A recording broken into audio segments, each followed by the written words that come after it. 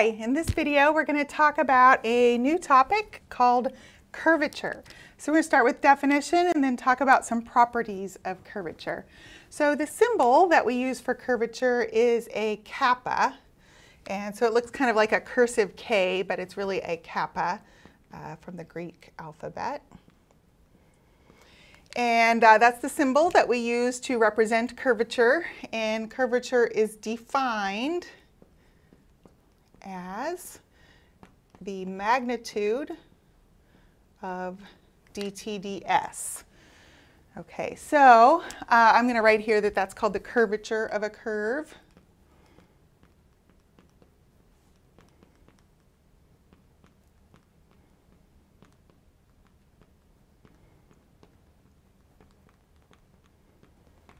And um, we might notice here that uh, this is defined in terms of S. So that curve would be a curve determined by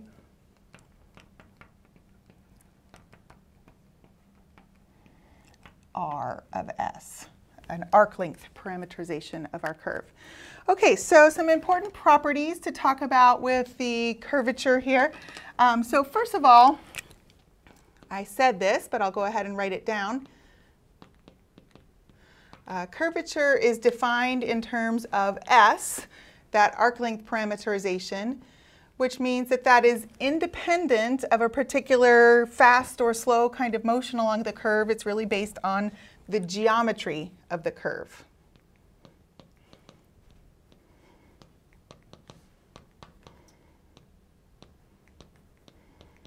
All right, so that's important. Anything that's actually defined in terms of the geometry of the curve is really about uh, how the curve is shaped and not whether you're going fast or slow in terms of that. Uh, all right, so some other things here. Uh, if we look at the definition, uh, so we've got a derivative of the t vector, so that describes something about how t is changing. But the other part here is these bars.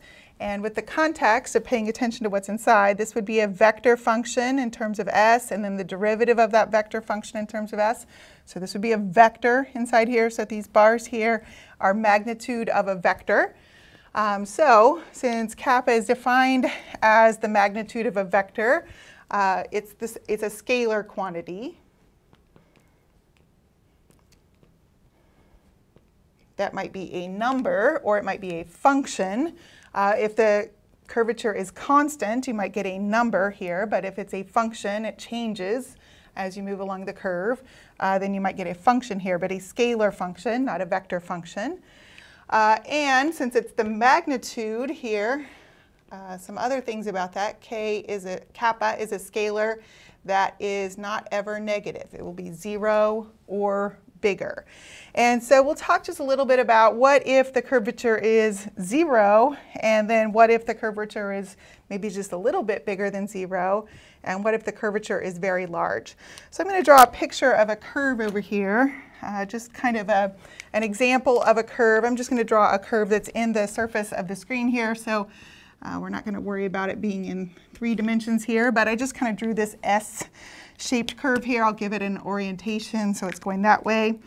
And then what I'm going to draw on here is just a few little examples or um, images that would represent the unit tangent vector at different points along the curve. So with the orientation, I know that the tangent vector should be in the direction of the orientation of the curve, and I know it should be one unit long, so whatever we decide is our one unit of length, and I'll just draw that vector tangent to the curve in the direction of orientation and I'll just draw this one and say, all right, that's what I'm going to call one unit of length for my scale here.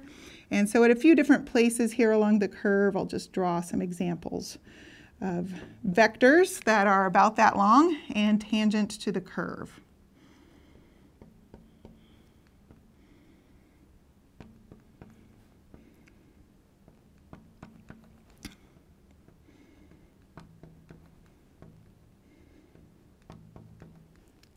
That's maybe not very tangent to the curve. Let me adjust that a little bit there.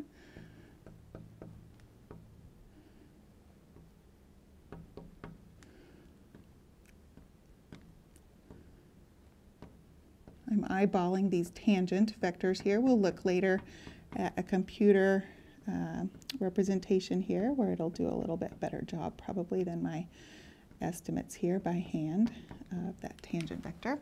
Uh, it's maybe not very tangent, like there.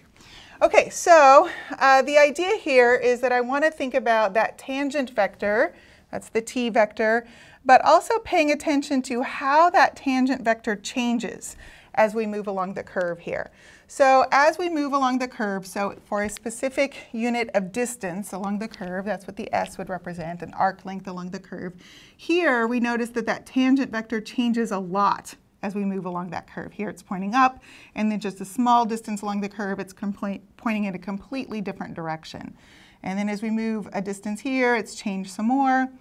Here, you might notice as that as we move along the curve, that tangent vector is changing, but not by as much. So as we move along this distance along the curve, the tangent vector has changed, but not by very much.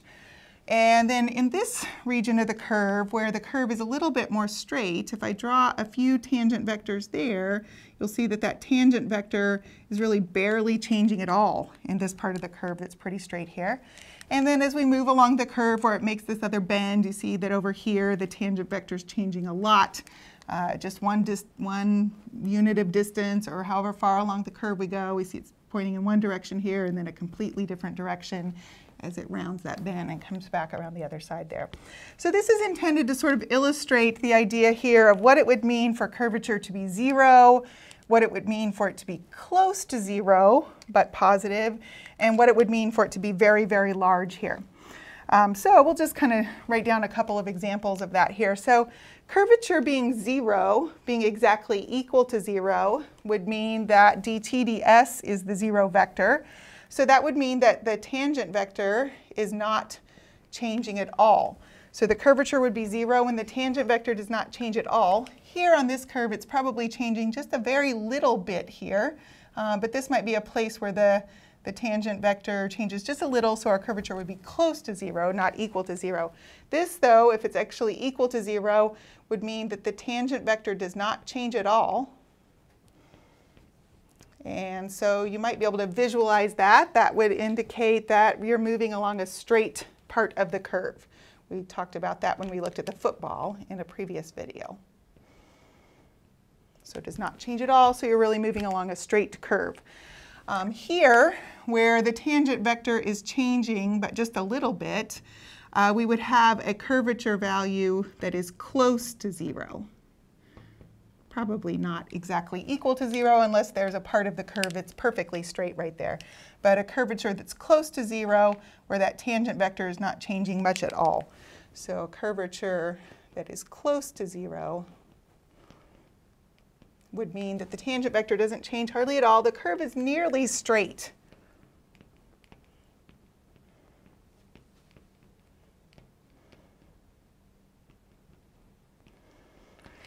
And then if we look at some other parts of the curve here where uh, that tangent vector is changing a lot, so on this picture I drew, that's kind of at each end, and maybe also here, the tangent vector changes kind of a lot uh, as we make this bend.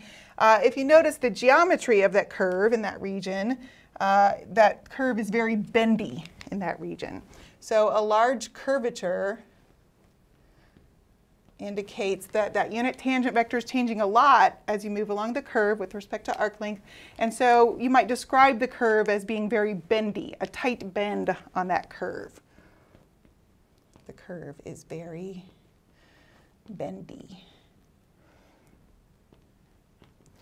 So a way to think about what curvature describes here is that this really describes how tight the bends are on the curve. And so you can think about, you know, in all kinds of applications in terms of designs of roads or curves or on-ramps or off-ramps, that the curvature would be an idea that you would think about there, whether a car is traveling fast or slow or somebody's walking along that ramp, the curvature of that part of the curve would be the same. It's independent of a particular kind of motion. It's really about the tightness of the bend there.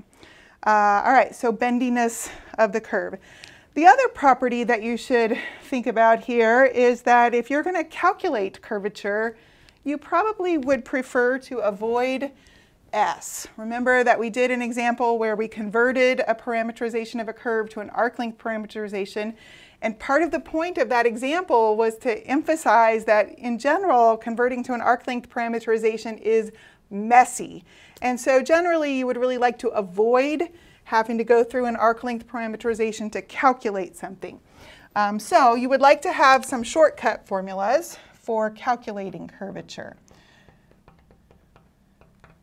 or calculation formulas, some books call them. There are many.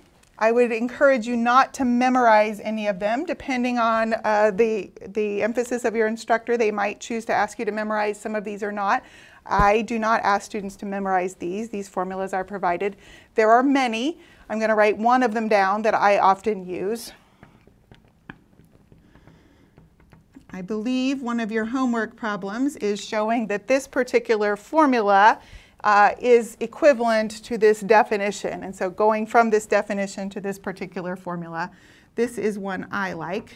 Uh, the magnitude of V cross A divided by the magnitude of V cubed. All right, so uh, we'll do an example where we use this calculation formula to calculate curvature for a particular curve and then analyze what those results tell us about the geometry of the curve. Um, but again, unless you're expected to memorize these, I would encourage you not to worry about memorizing them. There are some other shortcut formulas depending on how your curve is given to you. Uh, there might be some ways to calculate curvature that are even faster and more efficient than this. So you might look at some of those formulas and as you go through your homework, make sure you're paying attention to whether you're doing that problem in the most efficient way or if there would be a more efficient formula for the particular problem you're working on.